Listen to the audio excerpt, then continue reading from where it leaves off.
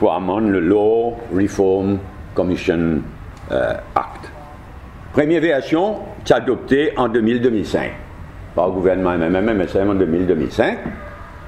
Mais vous allez dire qu'ils travaillent, lui, une bonne première quelque chose qu'ils ont fait quand j'étais gagné l'élection en 2005, ils ont amende lui et ils ont amélioré Mais là, ce qu'il peut faire mardi prochain, c'est exactement le contraire.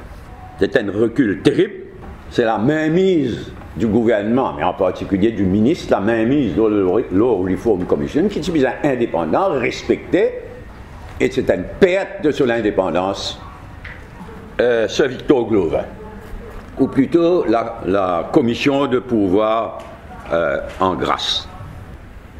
Et là, finalement, le cas plus récent de Christopher Perrine. Alors ce matin, on lit attentivement déclaration de ce Victor Glover, il pas joli joli. Alors là, ce matin, il vient dire que la police pas une info. La police qui, même la police, la, la police qui pas une faire ce travail, la police qui pas une dire qui le dossier, lourd dossier pénal de sa, de sa là. Donc en vote. Et, les cachets derrière Monseigneur Piat, déplorable, France. La République, la présidence de la République, et n'a les pouvoirs révoquent n'importe qui membre, y compris le président de la commission de pouvoir en garde, si elle n'a pas de raison. Honorable Adil Amiamia, il pose une question mardi dernier, qui finit de répondre, B, Parliament Question 853, mardi dernier, mais livré même extraordinaire. Mot à mot.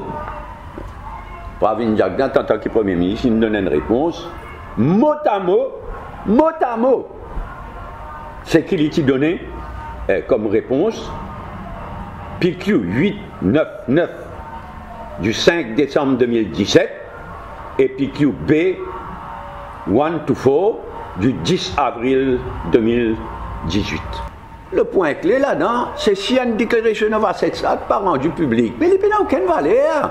Or, nous connaissons qui actuellement, le Declaration of Assets Act, comment il était, n'est gagné ben, ben, député, etc., ministre, fait une déclaration avec dans un tiroir de, dans un tiroir de l'ICAC fermé.